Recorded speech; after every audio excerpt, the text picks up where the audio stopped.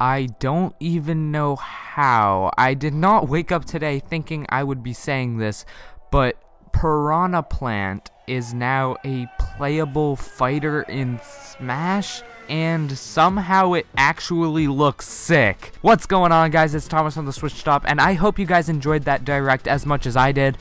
I know there are going to be some people upset about various aspects, but to me that direct definitely delivered. It wasn't a smash hit like some recent ones have been, but it showed off what I wanted to see while saving a lot of mysteries for the release. Now, as I mentioned, many people are upset about this direct, and one main point of contention is the last character they revealed they revealed a piranha plant. Not even Petey Piranha or anything like that, just a literal piranha plant. In this video, I'm going to be trying to rationalize the decision explaining why it was made to include this character as a fighter, and to try and reason with everyone who's upset about this. I have five reasons, and let's just get into them right now. So for the first reason, it is because the Piranha Plant is kind of Ultimate's what the fuck character. There are a lot of WTF characters in Smash. Obviously in Smash 4 we got the Wii Fit Trainer, uh, that, like, what? There's always been at least one just random character that no one asked for, and Piranha Plant is definitely that. Not only is it a pretty interesting way to get introduced to new characters and different and unique fighting styles, but it is also a great marketing move in order to get people talking about the game. It's something Sakurai loves to do to get people talking, so that partially explains why. Number 2. Piranha Plant is currently being marketed as the pre-order bonus. Now unfortunately we do not know too much about this, at least I am unaware or just unsure whether he is a limited time offer as in you can only get him during the limited time or he's free for a limited time but then you have to pay for him afterwards.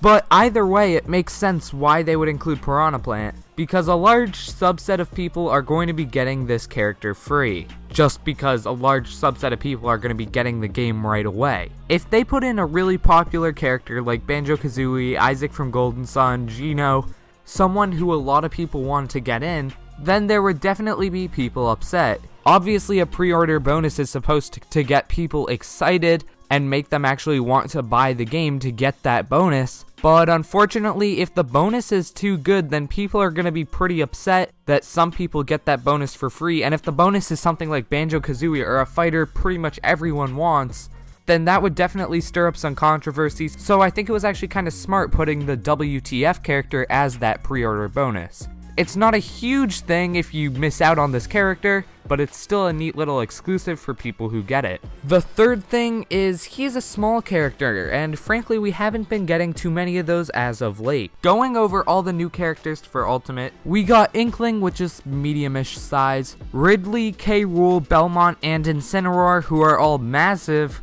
and then Isabelle, who's small. That's not even counting echoes like Ken. So yeah, there's clearly been a large chunk of characters that have been big, or heavies, or whatever you want to call them, so it makes sense to choose a relatively smaller character, and from what we've seen, Piranha Plant is definitely very tiny. So those are three big reasons, but now we're going to get into more of the not trying to rationalize why the decision was made, just trying to reason with people who think it's terrible. Some people are like legitimately upset about this decision, and these last two reasons are for you.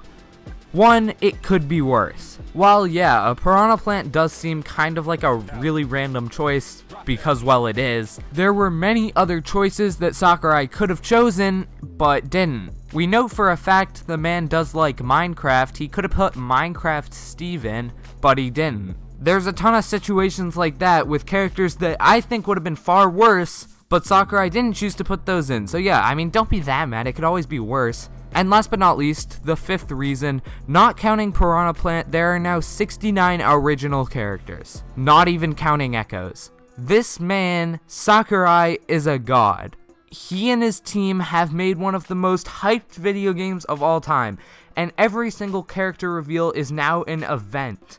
Can you just let the man have one character slot Especially with Ultimate, every other character has been insanely wanted. From Ridley and K. Rool, the two most requested characters pretty much in Smash Bros. history, to Simon Belmont, another highly requested character, to even Isabelle, who was very requested. Can we just let the man have at least one character slot to let his creativity and passion just shine through? Sakurai's a wacky dude, and we've seen this again and again. Just let him have one character slot out of all the newcomers to mess around and just have fun. If you're getting legitimately mad about a plant being in a video game, I think you need to calm down, okay? This man has slaved away for most of his life making these games.